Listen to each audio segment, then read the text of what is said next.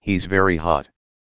Allison Langdon, 41, blushes as she reveals her secret crush on Harry Styles, 27, after watching his shirtless Grammys performance. Allison Langdon was left swooning after watching Harry Styles perform at the Grammy Awards on Monday night. Appearing on Tuesday's Today Show, the 41-year-old admitted she was left hot under the collar after watching the 27-year-old crooner sing Watermelon Sugar on stage. It was definitely Harry Styles' night, the blonde said as she introduced Brooke Boney's entertainment segment about the Grammys. After a montage wrap-up of the 2021 Grammy Awards played on the screen, Brooke declared, I loved Harry Styles though, I mean I just love Harry. Who doesn't love Harry?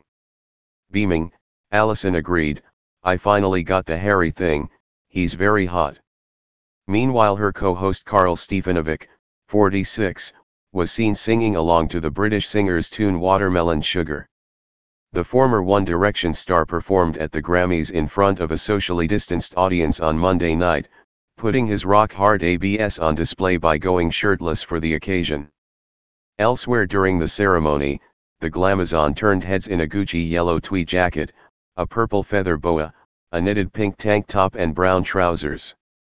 Harry's stylist has since revealed the inspiration behind the eye-catching look, revealing that the singer wanted to look British and eccentric on the night.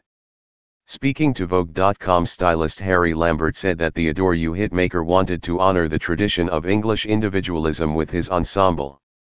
This is Harry's first Grammys, and so we wanted to do something that felt British and eccentric, the stylist said. A little bit rock and roll and a little bit camp. I hope we did this with the mix of the tweed and the boa, which is Britishness, rock and roll, and camp all rolled into one.